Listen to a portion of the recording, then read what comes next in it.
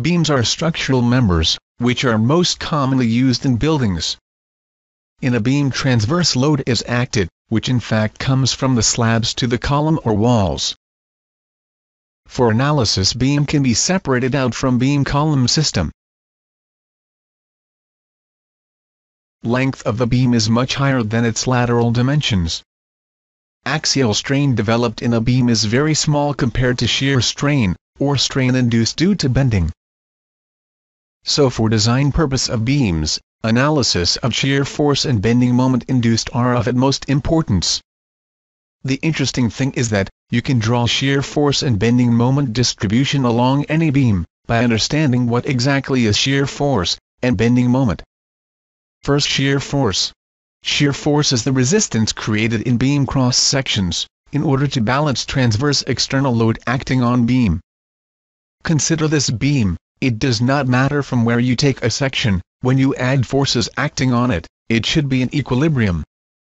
Shear force is induced exactly for this purpose, to bring the section to equilibrium in vertical direction. It acts parallel to cross section. Usual sign convention is as follows. So just by applying force balance in vertical direction, on the free body diagram we can determine value of shear force at a particular cross-section. Now we can apply same concept in different cross-section and find how shear force varies along length of the beam. But balance of transverse forces alone does not guarantee equilibrium of a section. There is another possibility of beam rotation, if moment acting on it is not balanced. If this is the case a bending moment will be induced in cross-section of beam, to rest this rotation. It will be induced as, normal forces acting on fiber cross-section, as shown. Resultant of those forces will be zero, but it will produce a moment, to counterbalance the external moment. Sign convention of bending moment is as follows. So we can calculate moment induced at any cross-section by balancing the external moment acting on the free body diagram. With these concepts developed, we can easily calculate distribution of shear force, and bending moment, along the length of the beam. We will see some examples. For this cantilever carrying three loads, we can start analysis from the free end. So for between A and B, if you take a section, the only external force acting on it is F1. So a shear force should induce in section to balance this force. So value of shear force between A and B is F1. But force balance alone does not guarantee equilibrium of the section. There is an external moment on the section. So a bending moment will be induced in section, in order to balance the external moment.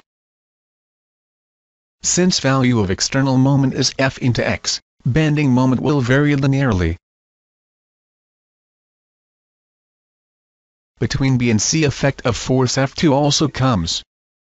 So shear force becomes F1 plus F2.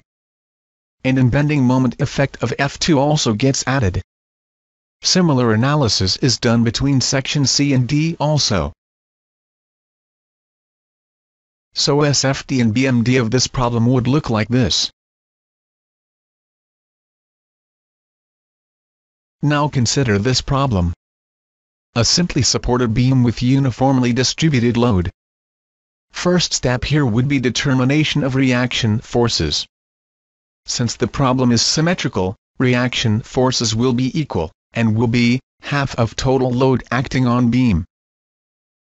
Let's start analysis from point A. If you take section between point A and B, it should be in equilibrium. So shear force will have equal magnitude of reaction force. So bending moment also gives a linear variation.